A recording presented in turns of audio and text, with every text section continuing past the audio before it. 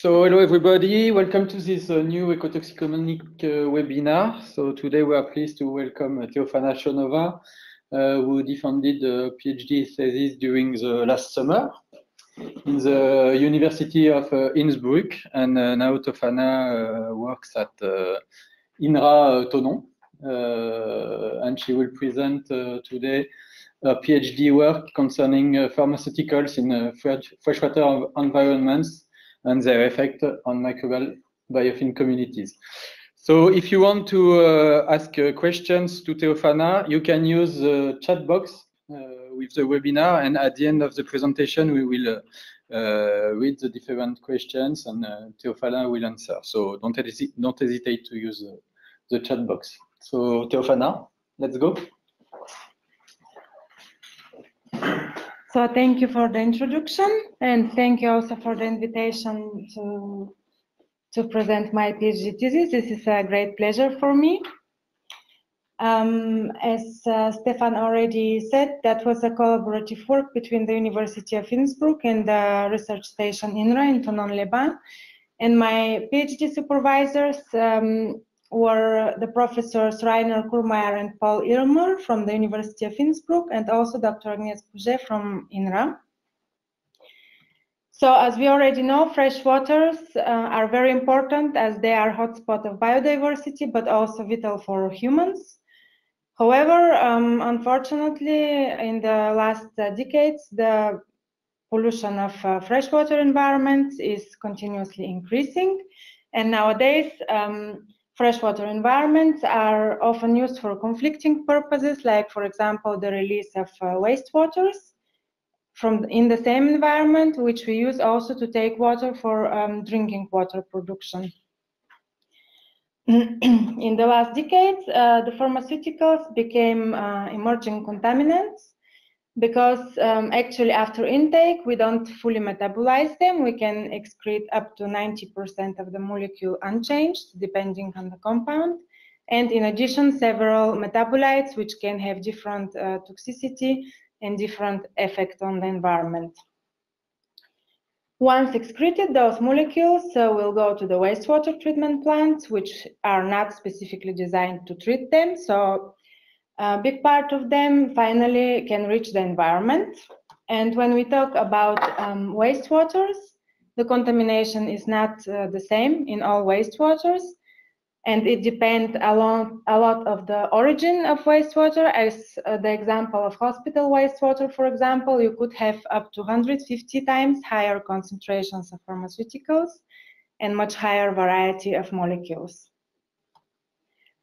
Well, uh, those molecules, they reach the environment chronically all the time, and uh, they can pose a problem because already they are made to be bioactive at low concentrations, and we can find them in a complex uh, mixtures of molecules and byproducts whose effects are very difficult to comprehend and to follow.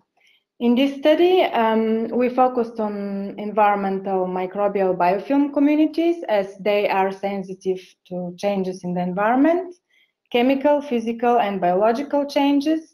We know that uh, um, there are huge diversity and uh, ecosystem functions are important for aquatic ecosystems. Um, so there are already some evidences of uh, different studies that pharmaceuticals will influence um, biofilms, like for example, will cause decrease in photosynthesis, increase in bacterial mortality rates, or will um, change the community tolerance uh, to toxicants. Um, however, it's still challenging to disentangle all those effects. And during my PhD, I focused specifically on two groups of um, periphyton communities. That's the bacteria, which are known to be sensitive to specific pharmaceuticals like the antibiotics, and diatoms as excellent, uh, that are known as excellent bioindicators, and already several um, indices have been developed uh, to, uh, to evaluate water quality. So it's uh, important to better understand um, the um, uh, the links between the presence of pharmaceuticals and uh, the diatom changes. During my study, I had the opportunity to work on a unique uh, study site, SIPIBEL, which is located um, in the French Alps. And it's unique because it treats separately urban and hospital wastewater, which is usually not the case. This separate treatment will allow to compare the two treatment lines, but also the effects um, of the wastewaters or the treated wastewaters to the environmental biofilms and also to follow those effects in the recipient river. The treatments were the same in both basins. However, the hospital wastewater was 15 times lower than the urban one, which caused higher retention time and higher oxygenation in the hospital basin. And this site is also specifically important because downstream from the river, um, uh, water is taken for production of drinking water for Geneva city. So it's of interest to, to keep the water quality good. And talking about the study site SIPIBEL, so this was a larger project which included several working groups and also uh, observatory for regular monitoring, which was very interesting to exchange with the different partners and uh, study their different uh, research questions and uh, link them between each other. Um, we focused on the one side on the micropollutants in wastewaters and the wastewater treatment processes, and on the other side, in the framework of the project PERSIST-ENV, on the um, uh, effect through different uh, configurations through time. There was a separate mode of treatment, but then they mixed the treatments and they also had a fully mixed treatment and partially, partially mixed. In my study, um, we only looked at the separate treatment and we concentrated at the sampling points that are located in light blue on the graph. So the objectives, uh, first we wanted to evaluate the transfer of pollutants from the wastewaters to the recipient river, hypothesizing that we will find higher concentrations of pharmaceuticals in the hospital file. And we also expect to see some increase of uh, pharmaceutical compounds in the river downstream from the wastewater treatment plant. Once uh, we have more information about those chemicals, we wanted to examine the effects of those treated effluents and specifically of antibiotics to bacterial and diatom um, biofilm communities. Uh, looking at the biofilm community changes in the treated wastewaters and then the effects uh, on the biofilms in the natural environment, the recipient river up and downstream from the wastewater treatment plant output. And finally, we wanted also to know if those changes are linked rather to pharmaceuticals or maybe to other environmental factors.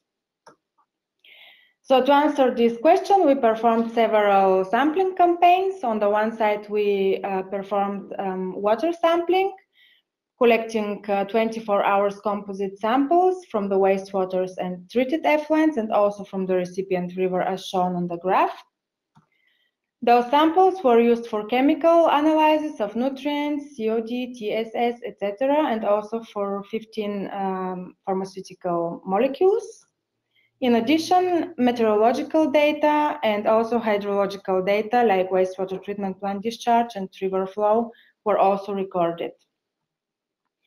In parallel, we wanted to record uh, better the concentrations of pharmaceuticals, so we used passive samplers, um, which actually are exposed to a defined period of time in a certain location, and then they collect uh, the, the micropollutants that will pass.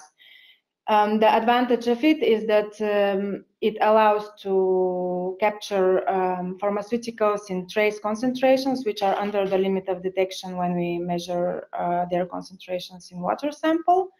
And also, um, specifically for wastewater treatment plants, we can easily have spot pollution events because of specific hospital treatments or uh, punctual releases that uh, can be missed even in composite water samples. So in that case of wastewater treatment plant, it was also interesting to, to catch this type of spot pollutant events. We exposed POCIS uh, six times from February to July, each time for one month in the locations mentioned in the graph, so in the treated effluents and also in the river up and downstream from the wastewater treatment plant.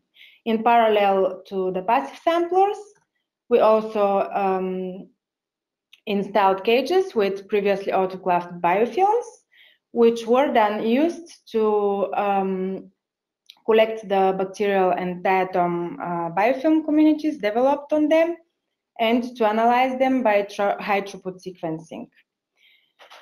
And we wanted also to focus a bit more on the river because here we only have two locations. So uh, we we also looked at the long-term um, biofilm uh, colonizations uh, from far up to far downstream in the river. And this time, um, biofilms were exposed not for one month, but for six months from 2012 to 2015. So it captures big, big higher uh, range, range of, um, of time and also uh, a gradient on the river. So uh, now I introduced uh, different uh, sampling uh, configurations, but in the coming slides on the results, you will also have this small schema with the study site and with the corresponding colors that will remind uh, which location we sample for the results that I present. So it will be easier to, to follow. So coming to the results, first I will talk about the transfer of pollutants from the from the wastewaters to the recipient river. And as you can see here on the left graph, um, the pharmaceutical concentrations that we measured for the most molecules seem to be higher in the hospital wastewater. Underlined in red, you see the antibiotics measured, and um, I put an accent of them because from all the therapeutic classes studied, the, for the antibiotics, uh, the difference was the most important. They were 20 times higher concentrated in the hospital comparing to the urban wastewater uh, which can, of course, cause uh, problems um, like bacterial resistance and so on, which was studied then by another research group. So then um, removal rates of pharmaceuticals were overall higher in the hospital file, um, but still, as you see on the graph on the red, uh, surrounded by a red square, total concentrations of pharmaceuticals still um, remain higher in the hospital treated effluents. So I hope that's clear enough. Uh, the hospital is always in red, and then if concentrations are higher in the urban, um, it will be um, noted with uh, green. So concentrations in both of them are higher in the hospital, wastewater and treated effluent, but um, here I want to remind that uh, the hospital wastewater had much lower loads. So the urban wastewater is 15 around 15 times higher the, the load of urban wastewater. So uh, we were interested to look at the total um, loads of hospital and urban contaminants, the, so the urban and hospital load to the total load of contaminants. And uh, this is presented in the figures below uh, on the left for wastewater and on the right for um, treated effluents. And as you can see, yes, here it there is already a different trend showing that um, the urban contribution of the total load is higher than the hospital one. Still, for uh, you can see that for pharmaceuticals, around 30% of the contamination comes from the hospital, which is relatively high also comparing to other studies. And uh, this is much higher than other groups of uh, studied compounds like surfactants, metals, and nutrients. Well, after treatment, it looks already better. The hospital contribution is around um, 10 to 15 percent, and um, we're not anymore on the first place. So the treatment was quite good. On this PCA, you can uh, follow the situation um, in the recipient river um, you will see in red that the location close downstream from the wastewater treatment plant was characterized by higher concentrations of uh, all the compounds and also phosphorus, whereby um, upstream concentrations of uh, the, the location upstream was rather uh, characterized by higher concentrations of nutrients. Mm or of nitrogen uh, groups. And uh, if you look at the blue circle, this is the far downstream site, which is located between both. So it shows that we still have higher contamination than upstream, but lower than close downstream, which shows the good in-stream removal actually of the pharmaceuticals. So here I'll continue to talk about pharmaceuticals, but this time not in the water column, but collected in the passive samplers, and we will see that they show similar trends. So uh, comparing urban in blue and hospital in gray, you will see that um, still there are many molecules higher concentrated in hospital. Still some, com some compounds were higher concentrated in the urban treated effluent. Uh, but the trend for antibiotics remains clear, here noted in black circles. Looking at the recipient river, again, we could record an increase in pharmaceutical concentrations for, for all the molecules measured and also for each of the sampling uh, dates. So then uh, let's see how the biological components will change. Um, and here we will look um, at different uh, at the differences uh, between urban and hospital communities. And first I will talk about the bacteria and then I will go to the diatoms. So looking at the bacterial communities in urban and hospital treated effluents, you could clearly see that uh, both richness and diversity, but also community structures were very different between the two basins. And um, the most abundant group was uh, proteobacteria everywhere, but we could still, um, but and when affiliating at the general level, we could find uh, some genera that may contain uh, pathogenic groups and that were higher concentrated in urban and hospital treated effluents comparing to, to the river sites. There was also a seasonal gradient very clear, clearly presented for the two treated effluents. So coming to the river, we could see similar trends. Communities were different in the two locations, and you could see a clear decrease in uh, diversity of uh, bacterial communities downstream from the wastewater treatment plant. Looking at the long-term uh, exposure with the four sites from far up to far downstream in the river, um, it was interesting to see that still there is a separation between upstream and downstream communities. However, far and close upstream communities were grouped together. We couldn't see any difference. But downstream, close and far downstream communities form two different groups. This might be because of the different intensity of, of pollution uh, coming from the station and the in-stream removal, which will then influence communities differently. Um, in the recipient river for bacteria, we also observed uh, some uh, some trends uh, from winter to summer, but this time it was less uh, obvious or less clear comparing to the treated effluents. So then we wanted to look a bit more in details into the bacterial communities and uh, this is an upset diagram that is an alternative to the Venn diagram. So it shows uh, unique and shared groups between community, between sites. And what we could find here is that a high number of OTUs are either unique for one site or um, omnipresent, meaning either present or in all sites or in both river sites plus at least one of the other locations. Then we could find that the highest intersection was between river sites, which is okay, not very surprising because both are natural communities and there is some influence from the wastewater treatment plant, but still most OTUs remain shared.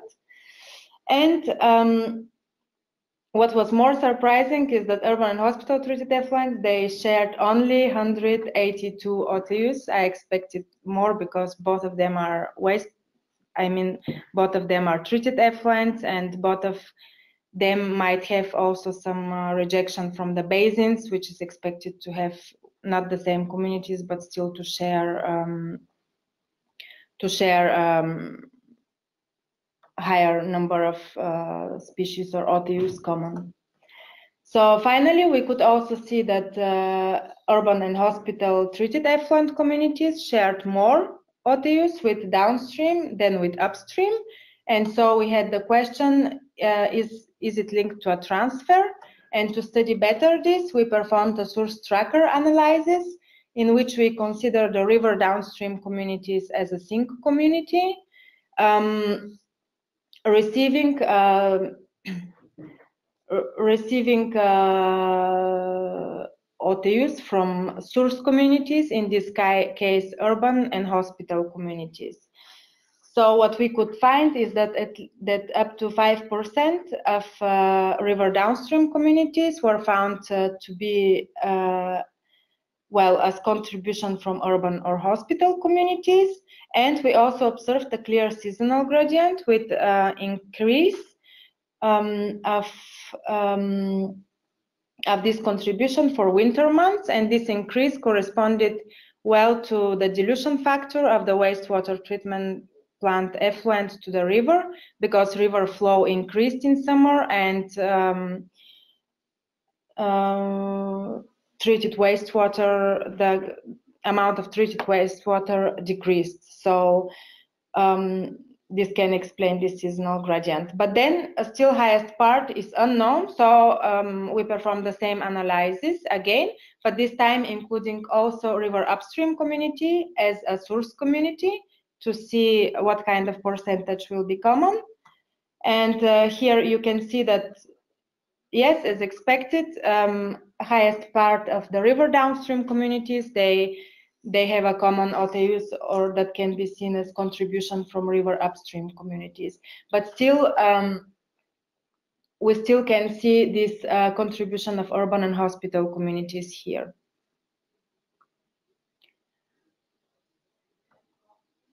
And finally, the question was, okay, we could see some changes. Could those changes be linked to pharmaceuticals? So we performed an RDA analysis to look the, to look at the um, to look at the relation between uh, bacterial communities and um, the other parameters that we had available.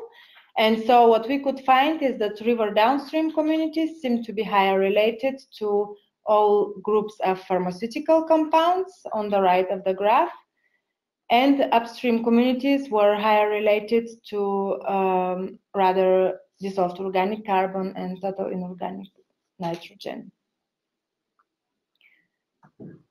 So then I will come to the um, diatom communities. And looking at the diversity of diatom communities, we could see that uh, diatom diversity was much higher in the recipient river comparing to the treated effluents, which is also not very surprising because, well, river is more their natural environment than treated effluents.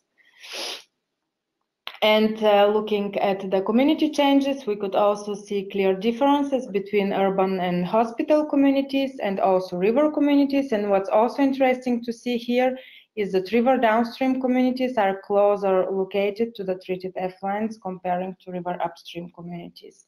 So we might have some transfer or adaptive development, which we'll also see in details in the next graphs. A seasonal gradient was clear in, in this case as well, especially for the river. And so then we looked in more details at uh, those uh, diatoms we found, affiliating them at general level. And what we found is that uh, groups, groups with rather eutrophic preferences were clearly dominant in the urban and hospital treated effluents, and such with oligotrophic uh, preferences rather in the river. And then we affiliated those genera to ecological guild classes and the ec ecological guild classes um, is a separation of diatoms in four different classes depending on their way of attachment, on their size, um, and on their resistance to different um, factors, to different disturbances. We have the motile diatoms that are quite um, small and that are able to move into the biofilm and opt optimize their place. So uh, thanks to that, they will be able to adapt better to higher nutrient and micropollutant concentrations. Then we have the low profile diatoms that are very good um, attached to the surface and are also quite small species, so they will not be um, they will not be influenced by higher turbulences, uh, by increase in water flow and so on. And again, we have the more or less opposite of low profile. It's the high profile diatoms that will be bigger, that will grow out of the biofilm and that be easily washed out if there is a stronger water turbulence or um, increased water flow. So um, we affiliated our diatom genera to those classes, and what we could find is that the motile guild that was um, clearly better adapted to higher pollution was clearly dominant in the treated effluents. Um, and then looking at the river, we could find all guilds, so the situation was much more equilibrated. And uh, it was also interesting to confirm again this, uh, this increased water flow in the summer um, that will probably wash out uh, high profile diatoms. And so you will see an increase in rather low profile diatoms in warmer months. in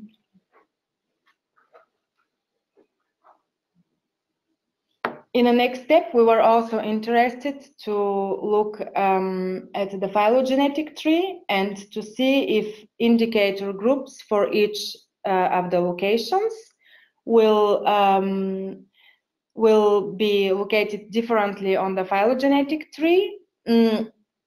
And so um, First, we took uh, three of the four sampling sites, urban, hospital, and river upstream, and we performed an indicator species analysis, um, which allowed to identify indicator OTUs for each of the locations, which we'll see with the site-specific color here on the graph, in blue for urban, in black for hospital, and in green for river upstream.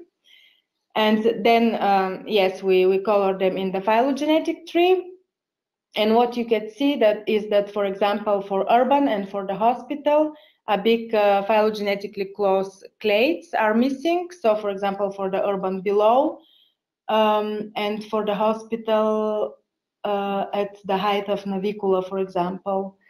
And then for the riverside, well, uh, we could uh, follow the phylogenetic tree except for Craticula, we could find more or less um, more homogenized situation. Then um, we took those colors and we transferred them to river downstream OTUs if they were found in the river downstream location in order to visualize the contribution of each of those sites to river downstream. And as you can see, um, big part of uh, the indicator OTUs still um, come from the river upstream, but still along the whole phylogenetic tree, you could find indicator OTUs for the urban or from the hospital treated effluents. Meaning that again, you will have either a transfer or adapted uh, development of those communities that will change river downstream communities. And as diatoms, are used uh, to evaluate water quality. So, of course, there is the question, will these changes change the, the overall quality of the water estimated by the diatoms? So we calculated the biological diatom index to see what will give us. And indeed, we could see a very poor to poor quality of the water in the two treated effluents, as well as a clear decrease in the river downstream from the wastewater treatment plant. So finally, again, uh, the question comes back: Is it linked more to pharmaceuticals or to to other uh, to other pollutants? How these changes can be explained? And uh, this time um, we performed again an RDA analysis to answer this question, but um, we included um, all parameters available, so pharmaceuticals, nutrients, but also um, temperature, um, so all, measurements of the meteorological parameters, and so on. And um, automized forward selection selected the, the two parameters that will explain best um, diatom changes and those were uh, synthetic variables explaining the shared variability between beta blockers and non-steroidal anti-inflammatory drugs on the left and antibiotics and phosphate on the right for the hospital. Uh, synthetic variables, maybe it's confusing. We choose uh, to create a synthetic variables in a first step of the analysis in order to eliminate very high correlations. It was the case for three groups, so those two and uh, the temperature and the solar irradiance. Uh, which um, allowed them to to have a more stable um, input model for the analysis. So I think that that was already enough information. so I'll just make a short summary. Um, so uh, the first hypothesis is looking at the pharmaceuticals in wastewaters. Yes, they were higher concentrated uh, before and after the treatment, but we shouldn't forget about the contribution of pollutants, which is still remaining higher from the urban treated effluents. Um, so then we could see an increase in pharmaceuticals in the river downstream for all the molecules, despite the quite good um, treatment of the wastewater treatment plant. We could also see community changes both for diatoms and for bacteria. So both communities were different in the two treated effluents and um, also clear differences were visible uh, in the river from up to downstream from the wastewater treatment plant.